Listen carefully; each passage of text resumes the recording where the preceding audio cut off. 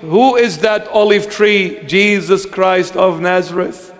What is the olive tree? 365 days a year. It's green.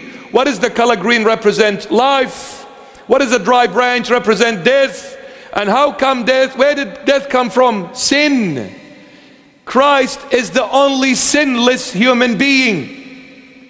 Never thought of sin, never committed sin. He is the only sinless. That's why Jesus, his humanity, did not find corruptibility because death could not overcome the body of Jesus because he is the only human being that never ever sinned, neither with thought nor with deed. Wouldn't you want to follow and trust such a human being?